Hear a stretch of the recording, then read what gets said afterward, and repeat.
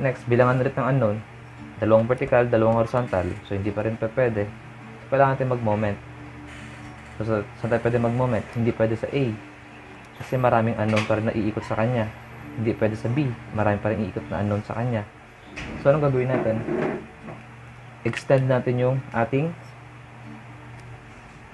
section.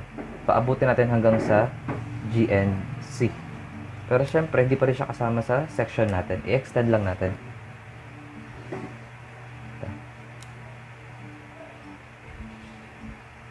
So, this is C.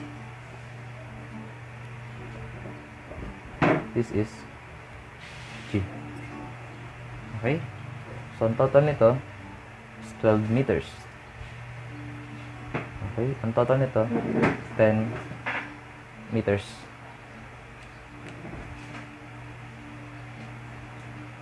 So, hindi skilled yung ating drawing. Anyway, ganyan pa rin naman yung ano niya, mga dimensions. Okay? So, tayo pwede mag-moment para makakuha tayong unknown. Okay, pwede natin ilagay dito yung ano, yung ating HG. Okay?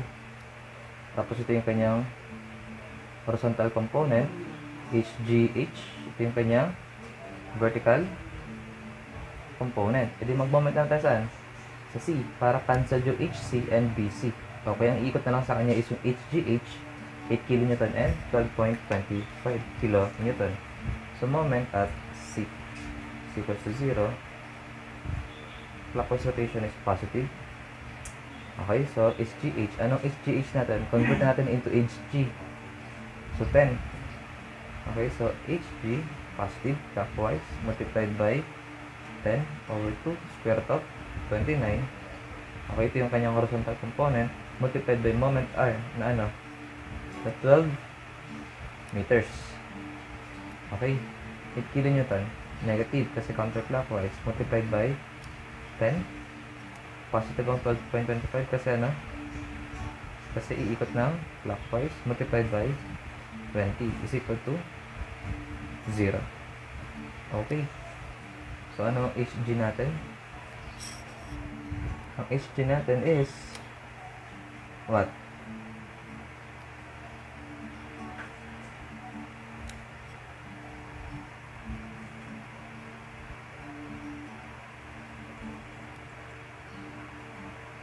Okay. So, HG natin is equals to 14.809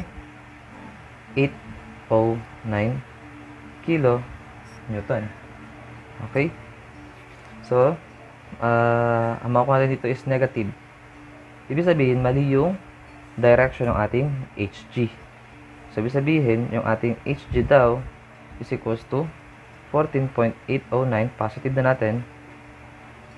Ano siya? Compression. Okay? Ayan. So, i-correct natin yung ano, yung HG. Dapat daw ano siya? Compression. Ayun yung ating HG. So, next. Ibig sabihin yung ating HG is what? Downward to the left. Ayan. So, ilan nilang unknown natin? HC. Hindi magalan tayo. Summation of forces vertical or horizontal. So, okay lang din naman yun. So, horizontal na lang. Okay? To the right is positive. Okay? So, HC, magiging pa. So, negative. HC. Convert natin into horizontal component.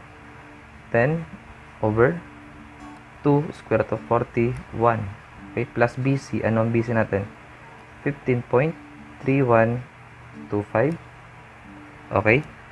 Then HG to the left. Ano HG natin? 14. Minus 14.809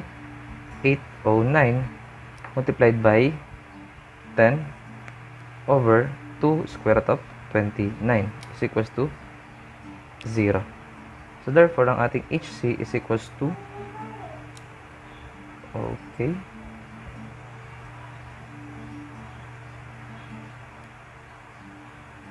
Okay, so negative 37.218 kilo Newton. Okay, so since negative, ang ating H daw is equals to what? Positive 37.218 kilo Newton. So, kung compression to, dapat daw siya yan, no? Tensile. Okay? Ayan. So, tensile yung ating HC. So, tensile dapat siya papalayo. Ayan. Okay? So, ito yung ating ah, analysis of thrust. At ang ginamit dito is method of section. So, thank you for watching. Bye-bye.